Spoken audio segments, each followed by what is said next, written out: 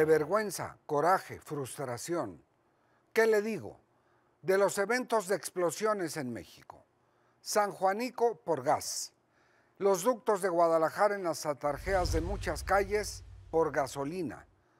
Tlahuelilpan en Hidalgo ahora. ¿Cuántas cosas más tienen que pasar? No olvidando lo de la pirotecnia, que ha tenido eventos de explosión y muertos, no tantos como Tlahuelilpan. La gente que ha muerto calcinada por el fuego que lo envolvió es de verdad dantesca en las escenas y muy importante que se investigue.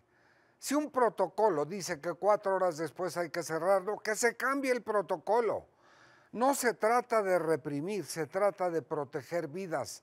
Y en lo que tope, ahí está la lección de que al ejército se le debe respetar por proteger vidas. Nada más.